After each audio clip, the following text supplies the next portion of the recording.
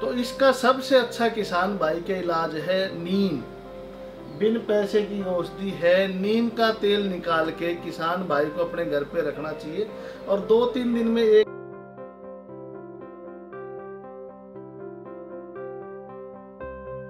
दोस्तों, मुझे काफ़ी दुख होता है जब एक छोटी सी इलाज की वजह से एक पशु मर जाता है या पशु का दूध खत्म हो जाता है या थन ही खत्म हो जाता है।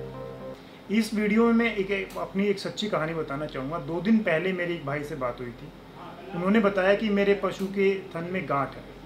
दूध भी ना के बराबर आता है। सफ़ेद पानी पानी थोड़ा थोड़ा पानी पानी जैसा आ रहा है। मैंने कुछ दवाइयाँ कुछ रिकमेंडेशन किया था कि भाई आप ऐसे ट्रीटमेंट करो आपका पशु ठीक हो जाएगा। आप उनसे ज़रूर बातचीत करो। ये वो दिक्कत नहीं है जो आप बता रहे हैं। लेकिन उस भाई का थोड़ा सा मैं असावधानी कहूँ या फिर उसका किसी तरह का भ्रम समझो। उन्होंने संपर्क नहीं किया और वो पशु, वो गाय थी, वो मर गई। कुछ पशु अभी एक थनेला नाम की बीमारी है, वो बहुत बड़ी प्रॉब्लम है और वो हर पशु में जहाँ तक मेरे को पता है, कुछ ना कुछ कम परसेंट या ज़्यादा मात्रा में रहती है। वो ऐसे भी होता है कि ज़रूर नहीं थन में गांठ हो, लेकिन फिर भी वो बीमारी रहती है। उसका देसी तरीके से हमारे आसपास इस तरह की चीज़ें बिखरी पड़ी हैं, अगर हम उनका सदुपयोग करें तो वो बेहतर ट्रीटमेंट कर सकती हैं। नींबू आँख में डाल के आप रो भी सकते हैं और पानी बना के पी भी सकते हैं। सेम चीज़ें हर चीज़ के साथ होती है। हम आयुर्वेदिक बंदे हैं, हम पुरानी देसी तरीके से अपना खुद का ट्रीटमेंट और अपने आसपास जो पशु रखते तो उनका उपचार करते रहे हैं। विक्की पंसारी जी के पास मेरे को फिर आना पड़ा सिर्फ़ इस वजह को लेके ताकि एक देसी तरीके से, घरेलू तरीके से घर में रह के अपने पशु का मस्टाइटिस थनेला बीमारी का कैसे उपचार करें। तो विक्की सर कोई भाई अगर अपने पशु का, थनेला, बीमारी का उपचार करना चाहे तो वो कौन कौन सी जड़ू बूटियाँ हैं, का क्या क्या पहचान है उनकी, ताकि वो अपने घर में उन बीमारियों का इलाज कर सके और दवाई बना सके? सत्येंद्र जी, ऐसा है, सबसे पहले तो मैं आपका धन्यवाद करना चाहूँगा कि आपने मेरे को अपने चैनल पे बोलने का मौका दिया। मैं आपको और सभी भाइयों को बताना चाहता हूँ कि थन की कैसी भी प्रॉब्लम हो प्राचीन काल से हमारे बुज़ुर्गों ने थन की प्रॉब्लम के लिए हज़ारों नुस्खे बनाए हुए हैं। एक नुस्खा भी अगर किसान अच्छे से उपयोग कर लेगा तो थन की प्रॉब्लम नहीं रहेगी। मैं आपको कुछ जड़ी बूटियाँ दिखाऊँगा। कुछ ऐसी औषधियाँ हैं जो आपकी रसोई घर में मिल जाएँगी। रसोई घर में नहीं तो आपके आसपास पेड़ पौधों से मिल जाएँगी। आपको पहचान नहीं है तो किसी भी पंसारी की दुकान से ले लीजिए। लेकिन आपको करना क्या है? मैं आपको जो जड़ी बूटियाँ बताऊँ वो बिल्कुल अच्छी क्वालिटी की हो साफ़ सुथरी हो ताकि आपके पशु को उनके ऊपर रिज़ल्ट मिले। देखिए थनेला का जो रोग है वो बैक्टीरियल रोग बैक्टीरिया की वजह से फैलता है। अब मानसून का मौसम है। मानसून के मौसम में इस बीमारी की तो बहुत ही ज़्यादा ये कह लो कि एक महामारी की तरह फैलेगा बिल्कुल। तो इसका सबसे अच्छा किसान भाई के इलाज है नीम। बिन पैसे की औषधि है नीम का तेल निकाल के किसान भाई को अपने घर पे रखना चाहिए और दो तीन दिन में एक बार पशु के आर्डर पे लगाना चाहिए। इससे 50 परसेंट थलेना कम आए। सर नीम का तेल कैसे निकालें? नीम के तेल के निकालने का तरीका क्या है कि नीम के ऊपर जो फल आते हैं जिसको हम देसी भाषा में निम्बोली बोलते हैं नीम का गिरी कह लो आप नीम का फल कह लो उसको ग्राइंड कीजिए। जितनी भी गिरी हो उससे डबल। सरसों के तेल में उबाल लीजिए उबाल के छान के धर लीजिए। नीम का तेल आपके पास तैयार इन्फेक्शन कैसा भी हो बैक्टीरियल हो उसको छोड़ेगा नहीं। दिन में दो दो तीन दिन में एक बार आप नीम का तेल अपने पशु के थनों के लगाइए। फिफ्टी परसेंट बीमारियाँ कम आए फिर भी अगर आपके पशु के कोई बीमारी आ जाती है तो देखिए आप अंधविश्वास में विश्वास ना कीजिए। सबसे पहले तो इस बीमारी का टेस्ट करो। अच्छे जितने भी डॉक्टर हैं क्वालिफाइड डॉक्टर हैं उनकी स्टडी यही है कि इस बीमारी को बढ़ने ना दो इस बीमारी को छोटा ना समझो। इस बीमारी को जैसे ही आपका पता लगे आप उसका दूध का टेस्ट करवाओ। किसी अच्छे डॉक्टर की सलाह लो।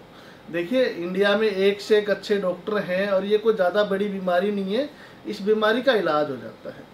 और इसका टेस्ट करवाने के बाद जब इसकी रिपोर्ट आए तो डॉक्टर के अनुसार उसका आप एलोपैथिक होम्योपैथिक जो भी इलाज करना चाहें कीजिए कोई समस्या नहीं। है एक मुश्त आपका इलाज नहीं होने पाता तो उसके बाद आप जड़ी बूटियों की तरफ़ आ सकते हैं घरेलू मसालों की तरफ़ आ सकते हैं। देखिए इस बीमारी का सबसे अच्छा इलाज है आपकी रसोई घर में काली मिर्च। काली मिर्च है एंटी बैक्टीरियल ठीक है। और बैक्टीरिया को खत्म कर देगी और बैक्टीरिया की वजह से ये रोग बना है।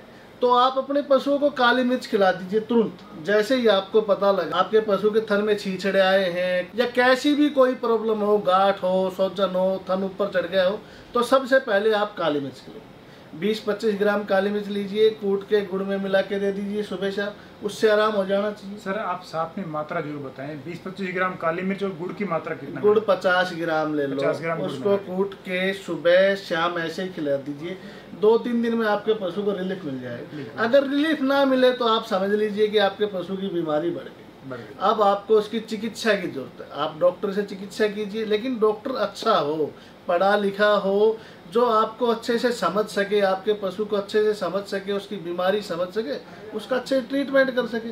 आप आयुर्वेद में भी कर सकते हैं। सबसे अच्छी चिकित्सा मेरे को तो जो लगती है। देखिए मैं तो आपको अपनी बताऊँगा पेड़ पौधों से जो चिकित्सा है जो हमारे घर में रसोई घर में मसाले हैं वो चिकित्सा सबसे अच्छी है। उसका एक फ़ायदा है। फ़ायदा क्या है कि उसका किसी भी तरह का कोई साइड इफ़ेक्ट नहीं है सतेंद्र जी आपने काली मिर्च खाई है? बिल्कुल खाते हैं। रोज खाते हैं। आंवला भी खाया होगा सोप भी खाई होगी मेथी भी खाई होगी। तो उन्हीं सभी चीज़ों से हमारे बुज़ुर्ग ये दवाइयाँ बना के गए। देखिए मैं इनको दवाइयों का शब्द नहीं लेना चाहूँगा। ये नुस्खे हैं घरेलू। नुस्खे हैं इनका सदुपयोग मतलब किस तरह की दिक्कत पे किस चीज़ को यूज़ कर कमी क्या है कि इनका इतना ज़्यादा विवरण है कि हम लोग अगर इनको संग्रह कर लेना तो कितनी भी बड़ी से बड़ी बीमारी हो पशु की किसान अपने हाथों से उसका इलाज कर सकते हैं। मैं आपको कुछ जड़ी बूटियाँ दिखाऊँगा। ये जड़ी बूटियाँ आप अपनी पंसारी की दुकान से लाइए मैं आपको इनकी मात्रा बताऊँगा। कैसे खिलानी है खिलाइए। आप अपने पशु का दूध लैब में टेस्ट करवाइए। टेस्ट जब आपकी पॉजिटिव आए आप इनको खिलाना शुरू कर दीजिए। आप देखिए नेगेटिव हो जाएगी। इसमें नेगे एक मिनट में आपको एक बात और बताना चाहता हूँ। इसमें नेगेटिव और पॉजिटिव का बड़ा झंझट होता है। बिल्कुल।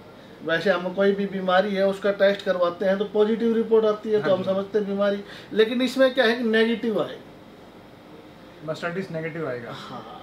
तो इस तरह की जब आपको ये लगे कि बीमारी है तो अब आप इन जड़ी बूटियों को सुनिए। देखिए सबसे पहली जड़ी बूटी है काली मिर्च। आप अच्छे से देखिए लेकिन जड़ी बूटियाँ बिल्कुल साफ़ सुंदर होनी चाहिए साफ़ होनी चाहिए नई होनी चाहिए पुरानी ना होनी चाहिए नहीं तो आपके पशु को आराम नहीं होगा। काली मिर्च लीजिए सौ ग्राम आप।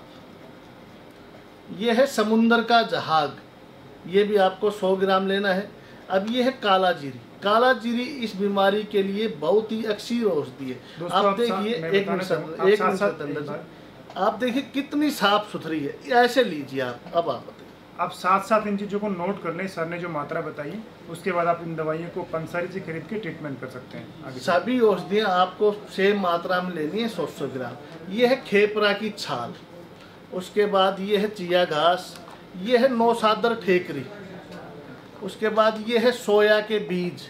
इसमें लोगों को बड़ा कन्फ्यूज़न रहता है। लोग सोया के बीज की जगह सोयाबीन की दाल ले आते हैं। तो सोयाबीन की दाल ना लेके आए ये जीरे की प्रजाति की है। जीरे जैसी इसके अंदर समैल आती है ये लेके आनी है।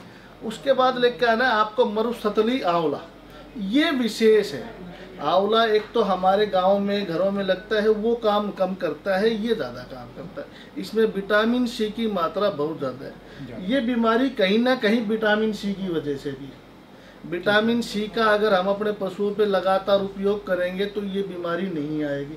तो विटामिन सी के लिए नींबू भी बहुत अच्छी चीज़ है आंवला भी बहुत अच्छी चीज़ है आप अपने पशुओं को नित्य खिलाते रहिए ये बीमारी नहीं आएगी। तो ये सभी औषधियाँ आपको सौ सौ ग्राम की मात्रा में लेके आनी है। लेके आप इनको अच्छे से ग्राइंड कर लीजिए ग्राइंड करके आठ खुराक आपको करनी है। सुबह शाम चार दिन दीजिए। चार दिन में आपको फिफ्टी परसेंट रिज़ल्ट मिल जाएगा। मतलब जब- आठ मात्राएँ आठ प्रोडक्ट आपने सर ने बताए हैं। जी। आठ सौ ग्राम ग्राइंड करना है। आठ बार मतलब चार दिन आपको सुबह शाम सौ सौ ग्राम करके खिलाना है गुड़ में मिला के खिला देना। ये जो मात्रा है अडल्ट पशु की है पशु प्रेग्नेंट नहीं होना चाहिए। अगर आपका पशु प्रेग्नेंट है तो इसकी मात्रा आप आधी कर लीजिए हाफ़ कर लीजिए। खिलाइए आराम हो जाएगा। चार दिन में सतेंद्र जी आपको फ़र्क दिखने लग जाएगा। सर गुड़ की मात्रा मतलब पूरी 800 ग्राम के मिलाने ग्राइंड करने के बाद मिलाएँ? नहीं नहीं जैसे क्या होगा कि 800 ग्राम दवाइयाँ हो गई। ग्राइंड हो गई। उसके बाद 100 ग्राम दवाई लीजिए 100 ग्राम गुड़ लीजिए लड्डू बना के दे दीजिए। ठीक है। ये जो मैं आपको मात्रा बता रहा हूँ अडल्ट पशु की है प्रेग्नेंट को हाफ़ खिलानी है उसके बाद चार दिन में आपको फ़र्क दिख जाएगा। चार दिन में जब आपको फ़र्क लगे कि 50 परसेंट के करीब आराम है तो इतना ही मसाला आप बाज़ार से और ले आओ। चार दिन और खिला दो। पूरा कोर्स है आठ दिन का। आठ दिन में आपका पशु बिल्कुल ठीक हो जाएगा। आप करके देखिए। दोस्तों, सर ने बताया कि ये आठ दिन के अंदर आपका आपका पशु है, बिल्कुल ठीक हो जाएगा, क्योंकि ये ना देखें तो बहुत छोटी बीमारी है। अगर असर करती है तो ये खतरनाक बीमारी है। इस पशु मरते ही मैंने देखे हैं। ये आप किसी भी पंसारी के पास जाके साफ़ सुथरा, ताज़ा, फ्रेश ये अपना प्रोडक्ट, ये चीज़ें खरीदें और इसको आप इतनी मात्रा में सर ने बताया, वैसे बना सकते हैं। एक ऑप्शन और भी है कि सर अगर ये प्रोडक्ट आपको कहीं ना मिले पंसारी के पास अवेलेबल ना हो तो सर के पास ये ग्राइंड किए हुए ये उपलब्ध हैं।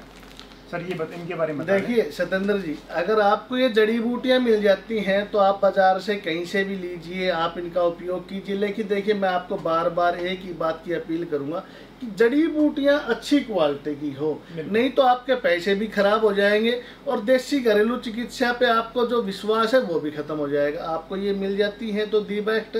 ना मिले तो मैंने इन सबको ग्राइंड करके एक प्रोडक्ट तैयार किया है। थन फ्रेश के नाम से है। मुझे लगता है बहुत अच्छा रिज़ल्ट है। दो पैकेट का कोर्स है। हाँ मैं किसान को क्या करता हूँ उसको बोलता हूँ कि आप एक पैकेट मेरे से लेके जाइए एक पैकेट खिलाइए। एक पैकेट में किसान को आराम दिख जाता है। उसके बाद एक पैकेट किसान और खिला देता है। फिर साथ में लैब में आप रिपोर्ट चेक करोइए। देखिए अंधविश्वास पे विश्वास ना कीजिए। मैं आपको बार बार में एक बात बोलना चाहूँगा कि कोई ये कह रहा है कि ये खिला दे वो खिला दे। देखिए हिंदुस्तान में एक बात कॉमन है। आपका पशु आपका बीमार होगा और डॉक्टर हज़ारों लाखों पाएँगे। हर घर में आपको डॉक्टर मिलेगा। अरे भाई फलाना चीज़ खिला दे कहते हैं ना अपने गाँव में। अरे भाई फलानी चीज़ खिला दे तो ऐसे हमें कुछ नहीं करना चाहिए।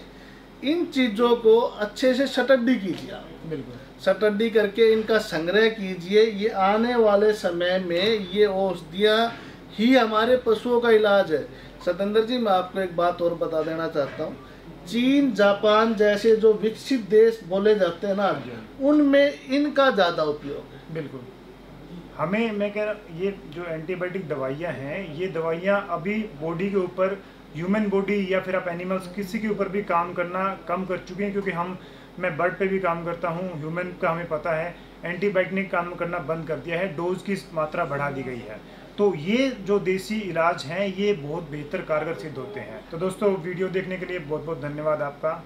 वीडियो शेयर करें और सर के नंबर नोट करके रख लें। मस्टाइटिस का बेहतरीन उपचार करने के लिए आप दवा के प्रयोग कर सकते हैं। इन घरेलू नुस्खों को अपना सकते हैं। तो बहुत बहुत धन्यवाद आपका। धन्यवाद।